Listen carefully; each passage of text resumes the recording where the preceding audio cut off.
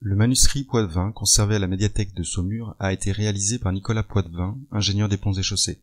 Il dresse un panorama de tous les grands ponts de Loire à la fin du XVIIe siècle. Il permet également de découvrir les nombreux moulins pendus qui fonctionnaient encore sur les ponts du royaume à cette époque.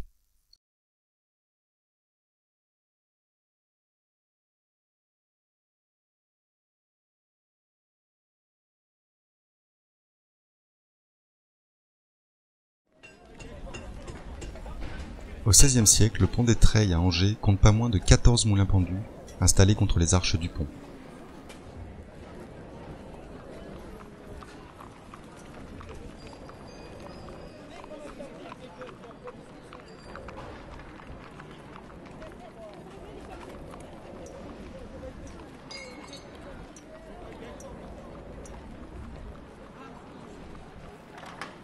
Sur le plan, on distingue les roues à aubes sous le tablier.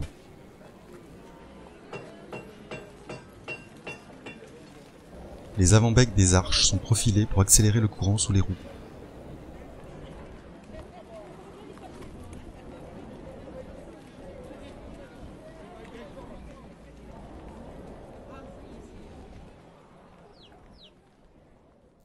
Ruinés par les crues du XVIIe siècle, les derniers moulins pendus du pont des Treilles disparaissent au début du XVIIIe siècle.